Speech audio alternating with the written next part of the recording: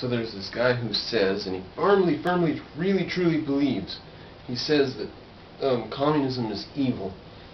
Um, and he says that uh, Marx was wrong, uh, and he says this and that and the other and the other and this and that.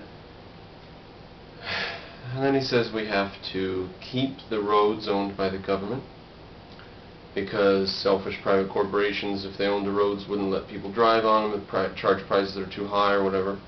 We also have to keep education private, I mean, pardon me, public, and we also need to get medicine public.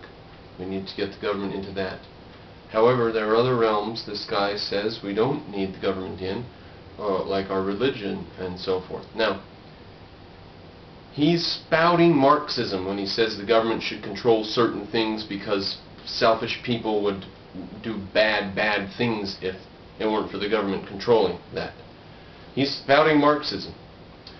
Uh, he can say he doesn't like Marx. He can say communism's evil. He can say that uh, America is going to win and in the long run America will still be here. He can say that he's in favor of freedom. He can say whatever he wants, but he's spouting Marxism when he says the state should own things. Okay? Uh, I don't care if somebody says that they're against Immanuel Kant. I don't care if they write a whole book criticizing Kant and rejecting him. If they use the epistemological methods that Kant pioneered, they're Kantian.